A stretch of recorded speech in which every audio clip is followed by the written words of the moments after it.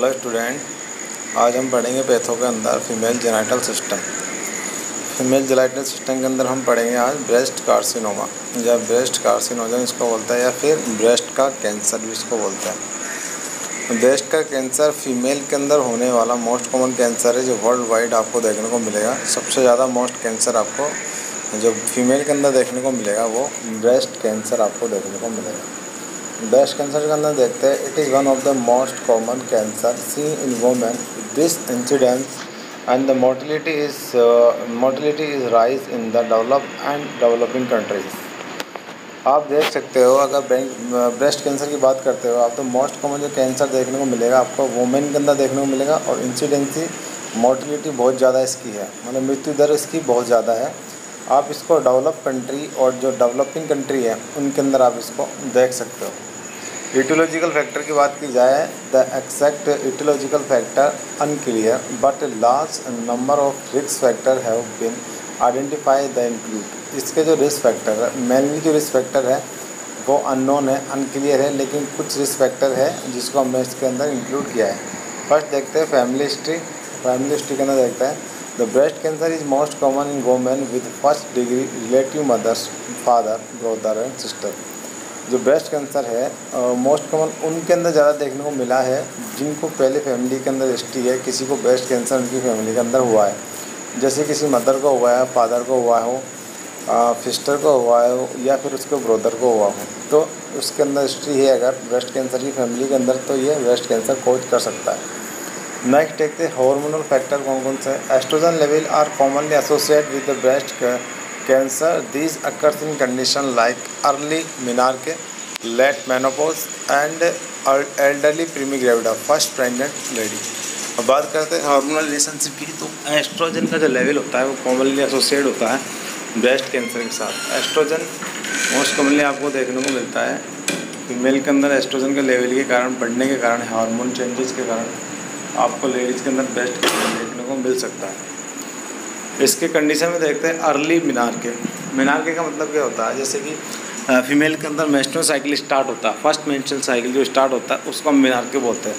और अगर ये मीनार के जो नॉर्मली होता है, वो चौदह साल की एज पर स्टार्ट हो जाता है। चौदह से सोलह साल की एज पर मीनार के स्टार्ट हो जाता है। अगर ये अर्ली मीनार का मतलब ये दस बारह साल पे या दस आठ दस साल पे अगर मीनार के स्टार्ट हो जाता है तो उन फीमेल के अंदर ब्रेस्ट कैंसर के चांसेस बढ़ जाते हैं। एक लेट मेनोपोज मेनोपोज का मतलब होता है सेशन ऑफ़ मेस्टून साइकिल यानी कि उन लेडीज़ों के अंदर मेस्टून साइकिल है, वो उसका सेशन या उसका जो आना स्टॉप हो स्टॉप हो जाता है। बिल्कुल, जैसे कि पैंतालीस साल के बाद, या पचपन साल के बाद नॉर्मली पचपन साल के बाद लेडीज़ के अंदर मेस्टून साइकिल आना स्टॉप हो जाता है हार्मोनल चेंजेस के कारण, जिसमें F S H fault F S H का लेवल कम होता है एस्ट्रोजन का लेवल बॉडी के अंदर बढ़ जाता है, वो बढ़ता है ऑस्टियोप्रोसिस कोज करता है। लेकिन यहाँ पर बात कर रहे हैं लेट मेनोपोज लेट मेनोपोज के कारण एस्ट्रोजन लेवल बॉडी के अंदर बढ़ेगा और बढ़ता बढ़ता वो ब्रेस्ट कैंसर को खोज कर सकता है। तो एक अर्ली प्री गेविडा देखो गेविडा की बात करते हैं प्रेगनेंट लेडी के अंदर।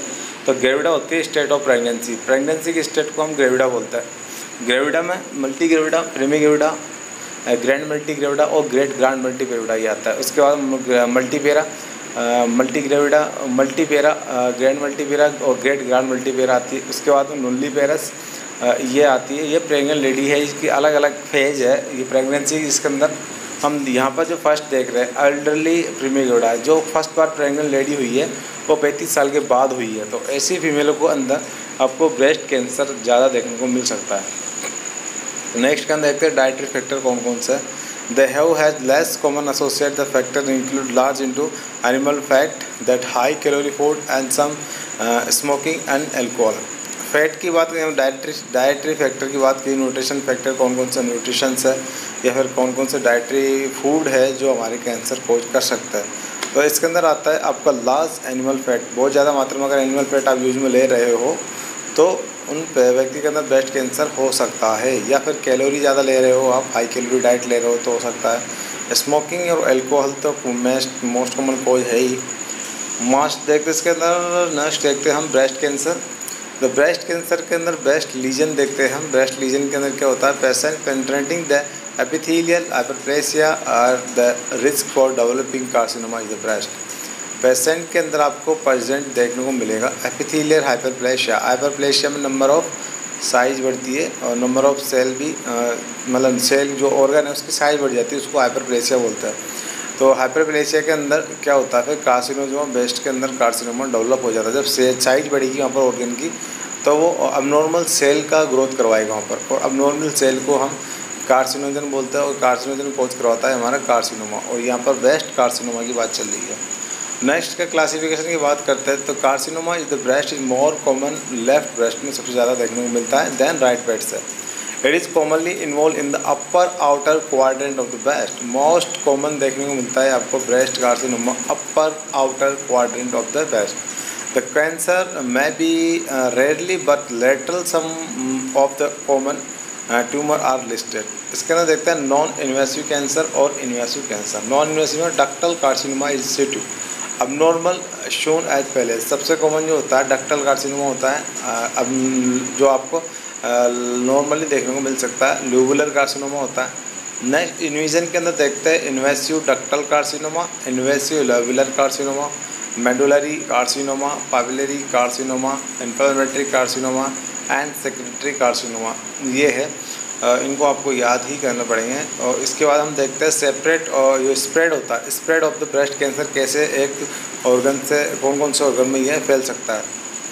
The breast cancer usually spread through the lymphatic canal lymphatic channel to the produce enlargement of the lymph node mostly axillary lymph node uh, follow by internal memory node and other node. The tumor may be also undergo hemato, hemato hematogenous route जो haematogenous route होता है उससे वो commonly फैलता है। तो breast cancer है spread होता है लिम्फेटिक चैनल से जो इन्लार्जमेंट कर देता है लिम्फ नोड को एक्सलरी लिम्फ नोड को मेनली इन्लार्ज करता है। और इंटरनल मेमोरी नोड से होता हुआ सीधा हेमाटोजेनेसिस रूट से ट्यूमर कोज कर सकता है। नेक्स्ट के बाद करते हैं क्लिनिकल प्रोफ़ाइल या फिर डायग्नोसिस क्या हो सकता है इसके। It is the clinical carcinoma it is the clinical carcinoma breast present will the painless palpable mass to the when less palpable to the head of the uh, consistency. In the initial state, mass is mobile and the mass is fixed of the underlying cell chest wall initial stage के अंदर क्या होता है? मास palpable होता है और fix होता है और चेस्ट वाल के आसपास देखने को मिलेगा। था इविंग the ever overlying skin ulceration जो आसपास की स्किन है वहाँ पर अल्सरेशन की फॉर्मेशन आपको देखने को मिलेगी।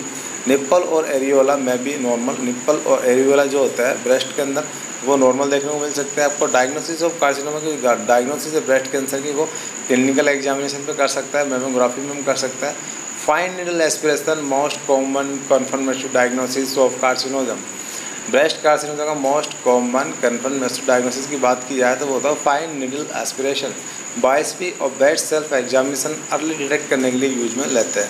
तो ये था हमारा ब्रेस्ट कैंसर पैथोलॉजी के अंदर नेक्स्ट अब इसके बाद हम नेक्स्ट टॉपिक पढ़ाएँगे। वो हम कल देखेंगे। आज यहाँ हमारा यहीं तक था। Thank you thank you very much